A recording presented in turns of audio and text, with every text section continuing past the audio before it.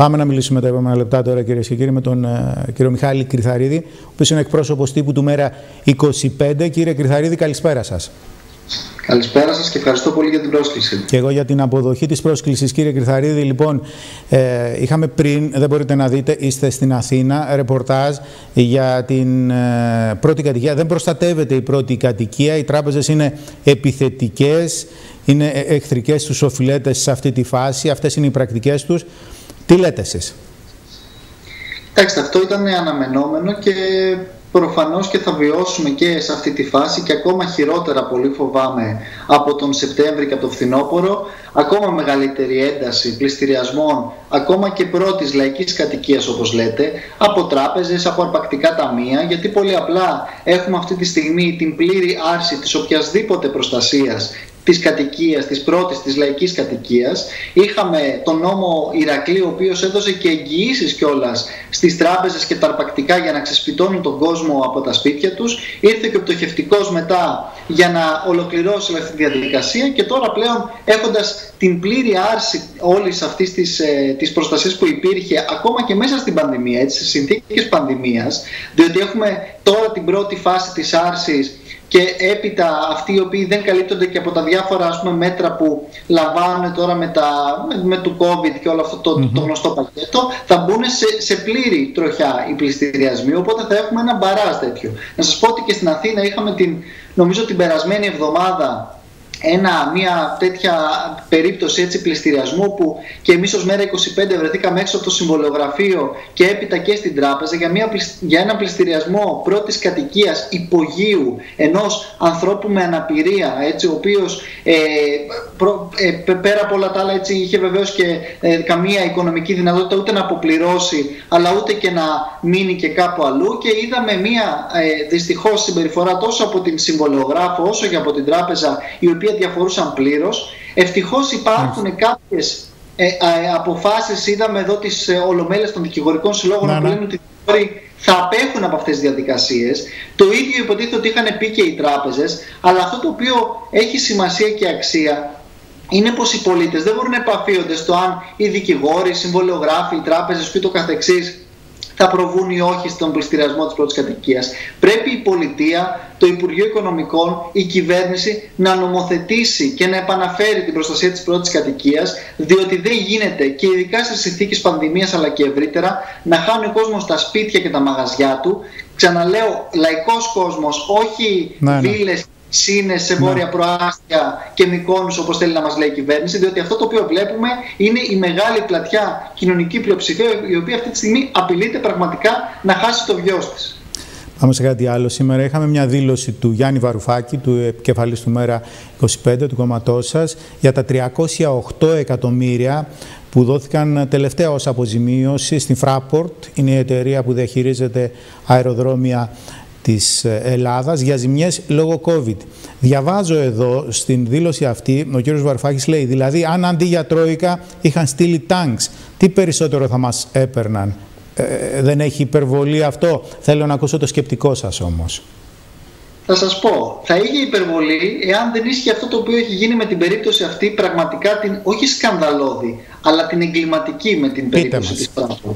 Έχουμε από τη μία την κυβέρνηση την προηγούμενη του ΣΥΡΙΖΑ, η οποία μετά τη συνθηκολόγηση της 5ης Ιουλίου προχωράει σε αυτό το οποίο είχε ξεκινήσει η προηγούμενη κυβέρνηση του κ. Σαμαρά, στο να παραδώσει τα 14 περιφερειακά αεροδρόμια.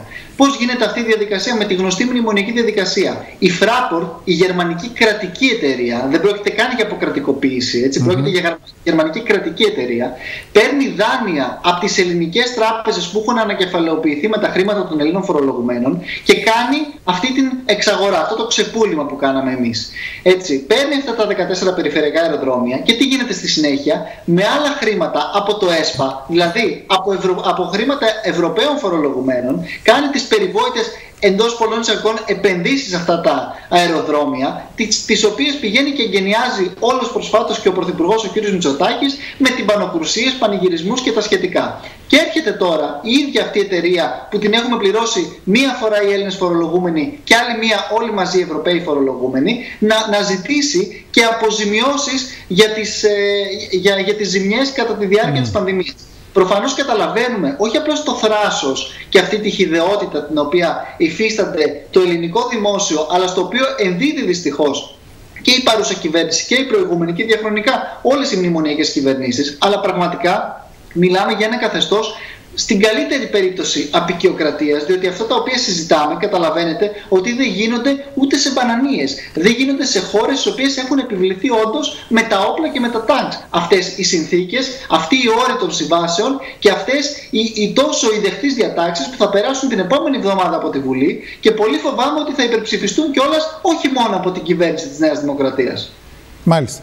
Ε, θα, θα το παρακολουθήσουμε αυτό. Πάμε στην πανδημία που εξελίσσεται ιδιαίτερα καθοδικά. Την ίδια στιγμή έχουμε τις γνωστές ανακοινώσεις για το εμβόλιο της Άστρα Ζένεκα για τις ηλικίες κάτω από 60 έτη.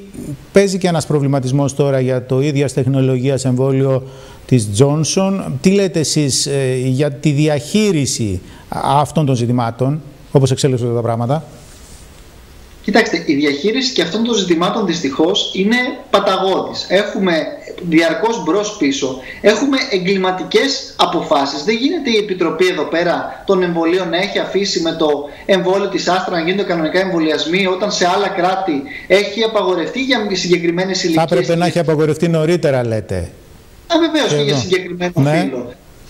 Προφανώς δεν μπορούν, δεν μπορούν τέτοιες αποφάσεις να κοστίζουν σε ανθρώπινες ζωές και ναι. κάποιοι απλώς μετά να ανήπτουν ε, τα σχήρα τους. Έχουμε πολύ σοβαρές έτσι, συνθήκες οι οποίες θα πρέπει κάθε φορά να λαμβάνονται υπόψη και δεν γίνονται αυτά να γίνονται απλώς με όρους του, του, του πώς θα μπορέσουμε έτσι να, να, να, να, κάνουμε μια διαχείριση μικρού τύπου από τη στιγμή που απέτυχε τόσο η Ευρωπαϊκή Ένωση όσο και η ελληνική κυβέρνηση δυστυχώς στο ζήτημα της προμήθειας των εμβολίων. Γιατί υποδέχτηκε σήμερα ο Πρωθυπουργός εδώ πέρα την κυρία Για πάμε εδώ. Τι, τι σημαίνει για σας η επίσκεψη Φόντερ Λάιεν, τι σηματοδοτεί, πώς είδατε αυτή την επίσκεψη; Απλά και με το προηγούμενο. Υποδέχτηκε σήμερα ο Πρωθυπουργός την κυρία Φοντελάγερ, η οποία θα έπρεπε να έχει απολυθεί από την Ευρωπαϊκή Επιτροπή για το φιάσκο και την παταγώδη αποτυχία της διαχείρισης της προμήθειας των εμβολίων για την Ευρωπαϊκή Πιθανώς Ένωση. Πιθανώς δεν έχετε πολύ άδικο. Ναι, ναι κύριε Καθαρίδη.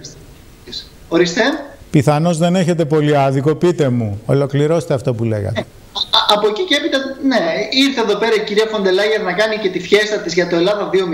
Αυτό το οποίο πρέπει να ξέρει ο ελληνικός λαός και ειδικά μετά την ψήφιση του χθεσινού αντεργατικού νομοσχεδίου είναι ότι το μνημόνιο 5.0 είναι πρώτον πυλών. Ήδη ο ESM μιλάει για το πώς η χώρα μας πρέπει να επανέλθει στα δημοσιονομικά της και στις δημοσιονομικές ισορροπίες. Ήδη το δημοσιονομικό έλλειμμα Άμα είδατε κιόλας και τα στοιχεία, είναι περίπου 8,6 δις τη στιγμή που πέρυσι τέτοια εποχή ήταν γύρω στο 5,4.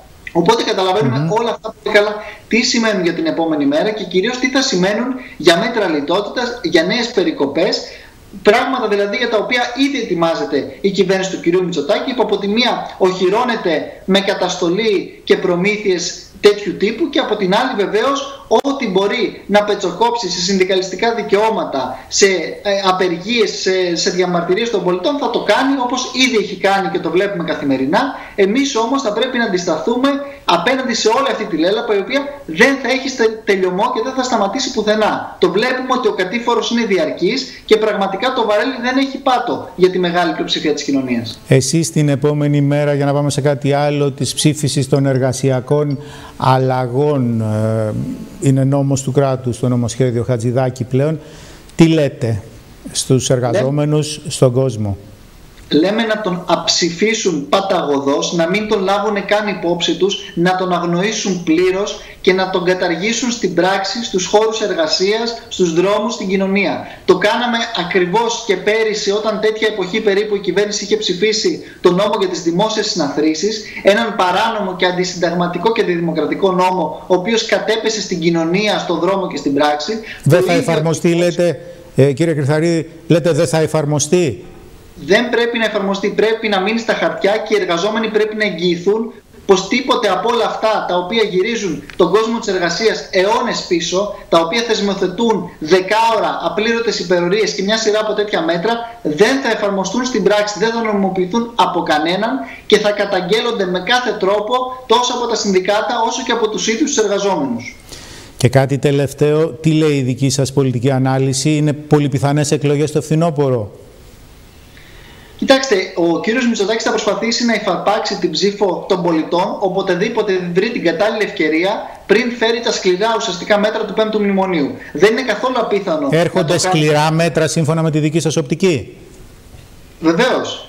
Βεβαίως, από τη στιγμή που δεν αποδέχεται, μάλλον από τη στιγμή που αποδέχεται τις ίδιες πολιτικές του μονοδρόμου που επιβάλλει το Ευρωιερατείο και τις οποίες όχι απλώς αποδέχεται, τις πηγαίνει και ένα βήμα παραπέρα, είναι δεδομένο ότι θα μιλήσουμε και για περι... νέες περικοπές συντάξεων και για περικοπές ενδεχομένως μισθών στο δημόσιο και ούτω καθεξής. Είναι μια σειρά από μέτρα τα οποία θα έρθουν και είναι δεδομένο διότι αλλιώς δεν θα μπορέσει να συμμαζέψει αυτόν τον προπολογισμό αν δεν προβεί σε, σε πολιτικές ρήξεις ουσιαστικά με όλα αυτά τα αναποτελεσματικά πλήρως και αδιέξοδα μέτρα της Ευρωπαϊκής Ένωσης. Ακούω Οπότε... τι εκτιμήσεις που κάνετε. Ναι, ολοκληρώστε κύριε Κρυθαρίδη. Βεβαίως.